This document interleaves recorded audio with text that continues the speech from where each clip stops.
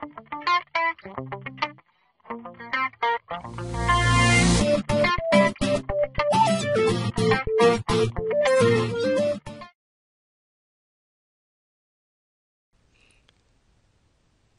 again. So let's just take a couple minutes here at the end to mention some of the things that can go wrong with joints. The first thing that I'll mention is called bursitis. So if you look at the word here, so we've already seen the bursae, and so bursae meaning the those little pillow-like fluid-filled discs, discs that help to uh, cushion our joints. Situs or itis always means infl- uh, inflammation. So as we go through this course, you'll notice a number of itises as we go through. And so bursitis means inflammation of the bursa, and this can be caused by by some sort of injury that where you hit that joint and it causes those to become inflamed. We also have tendinitis. So notice again the itis. So this is an inflammation of the tendon sheaths. This can also occur. And then the one that is most widespread and causes all, all types of problems throughout the United States and throughout the world is arthritis. So arth meaning the joint and then itis meaning inflammation. So this is actual inflammation of the joint. There's a lot of different types of arthritis. It can be caused by bacterial infection and, and that can be uh, treated with antibiotics or something like that. And so, if it's caused by bacteria, that's something that you can treat. But also, there are other things that can cause arthritis, and we call these uh, chronic arthritis. There's a few different few different types. We have osteoarthritis. Notice osteo means bone, so this is the inflammation of the the bone the bone joint. And this is probably the most common, and this is something that just happens as you age. So as you age, these some of that uh, fluid may not cushion as well. The cartilage may have some wear and tear. So just as you age, it's just kind of the breakdown of things. And so it, it can cause pain, but usually this can be helped with anti-inflammatory drugs or just movement. The second type of arth- arthritis is rheumatoid arthritis. And this one is actually an autoimmune disease, meaning that auto meaning self and immune, talking about your immune system, or in other words, your immune system is attacking your own body.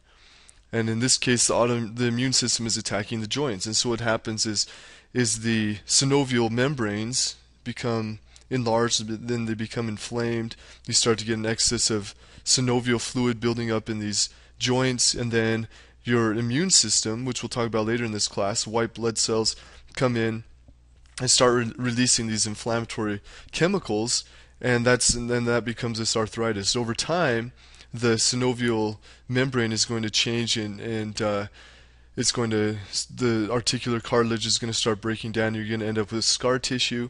And scar tissue can eventually ossify or, or become bone, and it's going to fuse those joints together. And so, in the extreme cases here, when this progresses really far, this is going to end up with bone deformities. It's going to end up with lack of movement. It's going to be a very crippling disease overall. Fingers or your wrist joints start to become inflamed, and that's often where it begins. It's going to be on both sides. It happens at the same time. And so this can be a very a crippling, very uh, uh, sad disease to have to deal with, and they're not really sure what causes it or what triggers it necessarily, but it is more common in men than, than in women. And it usually happens in, in people that are middle aged to, to older. And there are a number of drugs that they have to to help keep the the inflammation down, and then also just again in all these kind of joint type problems that happen, movement itself trying to keep those joints mobile is a good way to help and counter the effects of these diseases. Last of all, there's something called gouty arthritis or just gout. So you may may have heard of this before, and this one is uh, is more common in men than in women, and may start around the age of 30 uh, and go up from there.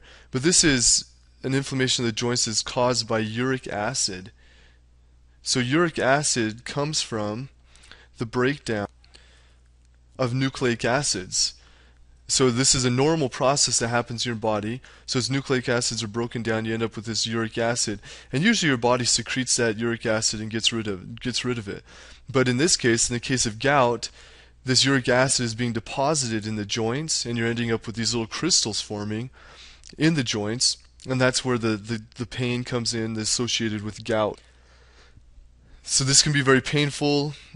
Again, if it's treated, then then it's usually okay, and there's a number of uh, drugs that will help to uh, treat this. But if it's left untreated, it, not only is it painful, but it can lead to problems with uh, joint joint fusing, the joints fusing together, and and not being able to move your joints, and and again a lot of pain associated with gout. So it, it is maybe partly hereditary, so it's, it's passed on in families. So if you have a, a history of gout, you may also, in your family, you may be susceptible to gout. And then also your diet as well. So there's foods that are high in nucleic acids that you can um, avoid to, to help from to help keep from getting this condition here. So those are some problems associated with the skeletal system. I want to talk a little bit about development of the skeletal system because it's pretty interesting, and we've talked a little bit about it as as a fetus, as a as you're growing in your mother's womb. Your your skeletal system is first built of hyaline cartilage, and then the bones are are slowly the bone slowly replaces that cartilage. And at birth, the bones of the skull are still incomplete, and this is where we get the th- what you may have heard of called the the soft spot in a baby's skull.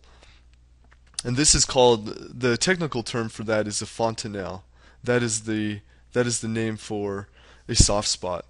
And so this is where the the skull bones have not yet come together and fused together. So you ended up you end up with this this area that's open. And this is actually important to have because as the baby is moving through the birth canal, this allows for some some movement of the skull bones to allow it to get through. So the head is the largest part of the, the baby that's, that's being born, and so it allows to allows it to move through the birth canal, uh, which is good. And then once the baby is born, this is slowly going to be replaced over time until eventually you're going to have the, the fused skull bones and the soft spots are going to be gone.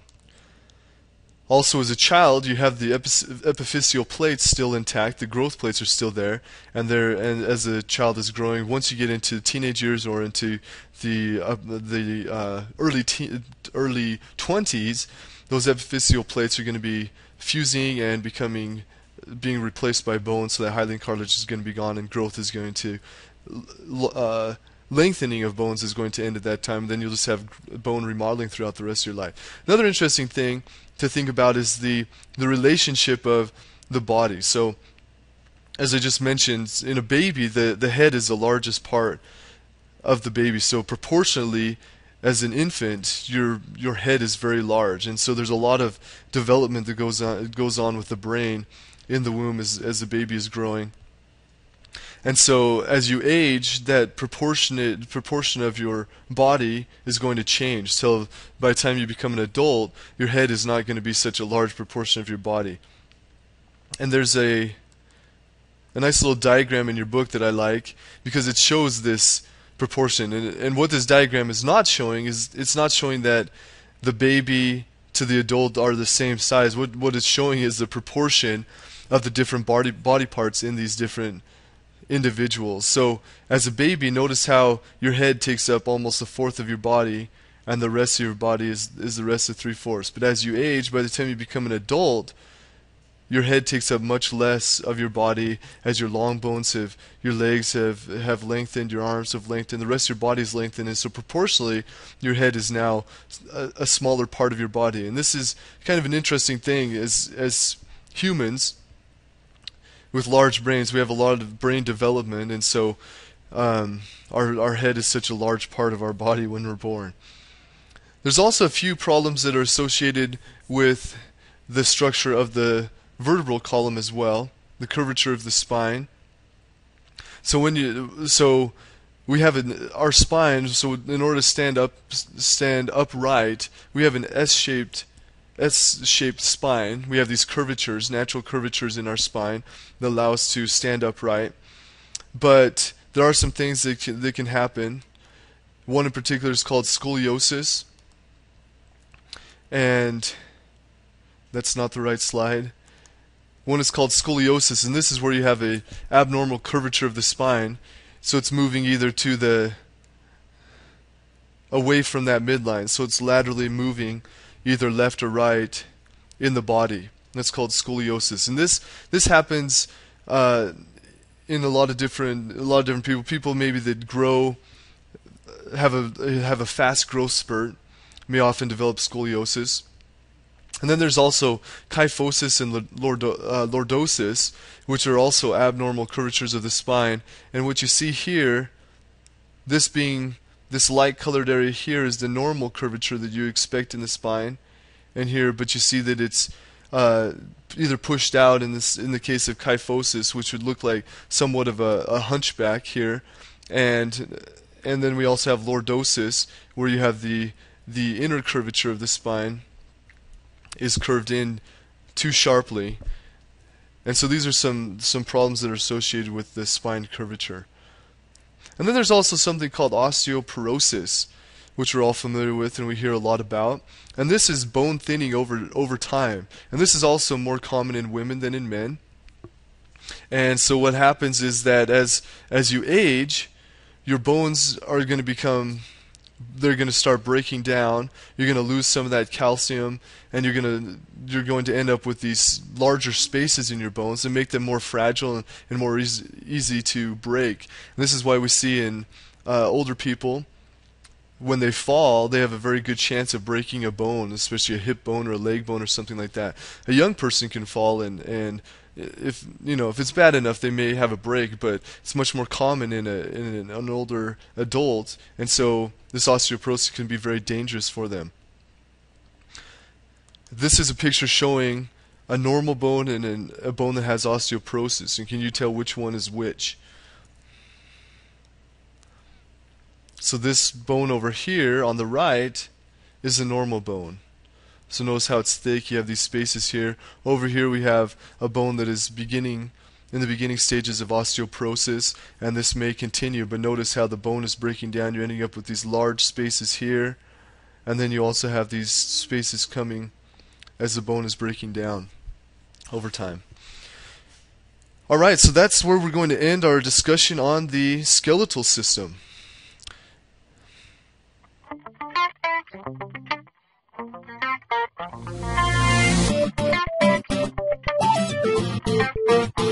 Thank you.